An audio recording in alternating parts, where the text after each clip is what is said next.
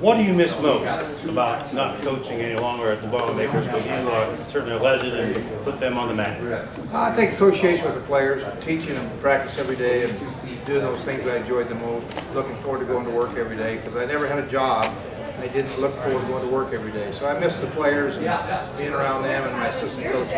Since we're in uh, Brad Miller country, I thought maybe I'd ask you to tell us a good story about Brad Miller.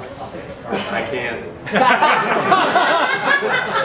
A story about Brad Miller. Okay, um, Brad was one of those unusual players that when you taught him like a play or a trap, he knew exactly what to do next. He was a very, very good student of the game, uh, listened, and I always loved working with him. He and Johnny Camp were the two most famous people from Kendall, right?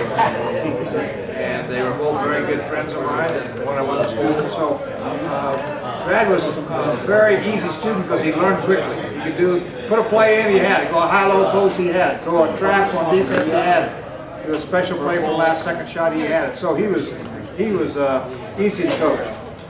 Uh, what was your reaction to being named to the College Basketball Hall of Fame earlier this month, and what does that award mean to you? Well, it meant a lot of people helped me.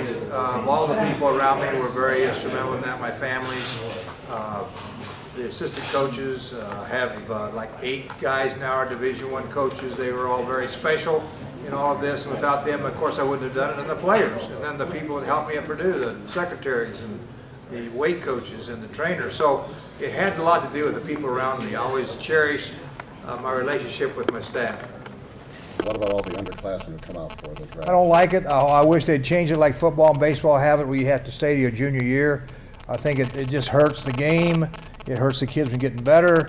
Uh, they don't learn how to manage their money when they're young, and they have a lot of things to do uh, to get better. So I just don't like it. I wish that uh, we could smarten up and and get uh, the commissioner to somehow get that pushed through where they had to stay they were juniors. advice you give the young athletes today, like in junior high, high school? Sure, uh, read a lot, uh, understand that your education is the most a- important aspect of your life. Without a degree, you're not going anywhere, because not very many guys become professional athletes. So get your degree and love to read. You. You gave my whole speech away. Now I don't have to talk. See you. Thanks, Coach. My pleasure.